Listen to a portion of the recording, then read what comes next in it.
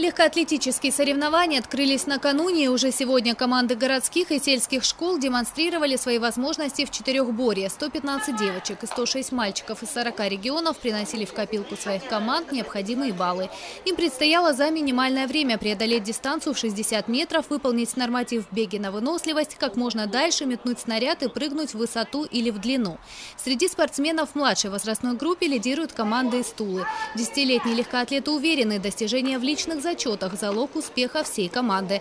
Так в своей дисциплине Костя смог показать лучший результат, прыгнув в длину практически на 5 метров. Каждый из нас, он ну, на свое способен.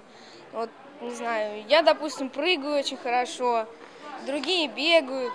У нас каждый свое способен, и вот этим наша команда и как бы обогащается. И поэтому мы так хорошо и бегаем, прыгаем. Победители в каждом виде программы и по сумме многоборья среди младших групп были определены сегодня. Первое место среди городских школ заняли спортсмены из Тулы и Красноярска.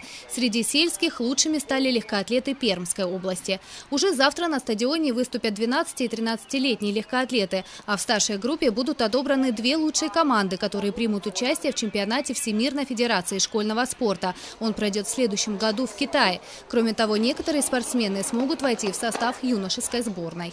Президент Всероссийского клуба э, «Шиповка юных» Юрий Михайлович Барзаковский будет на среднем возрасте 26 числа.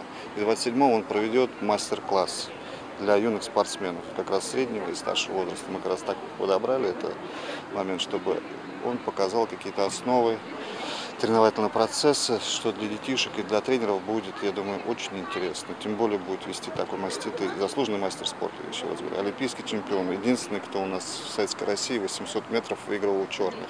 Посетить мастер-класс олимпийского чемпиона Юрия Барзаковского смогут и сочинские любители легкой атлетики. Встреча состоится 27 сентября в 15 часов на стадионе «Юность». Татьяна Нагорская, Михаил Дубинин, телекомпания «ФКТ».